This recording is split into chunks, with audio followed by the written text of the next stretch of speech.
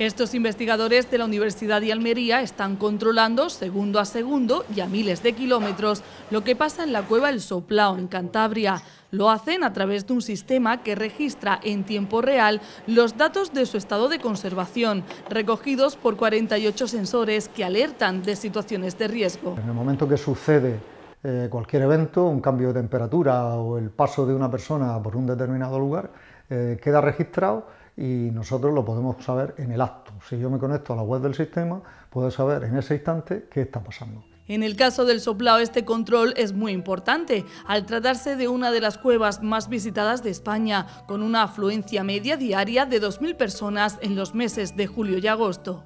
El principal objetivo es mantener la cueva sostenible, de tal forma que permita eh, una explotación económica mediante el turismo, pero a la vez se mantenga el ambiente interno y por lo tanto las formaciones que le hacen tan espectaculares.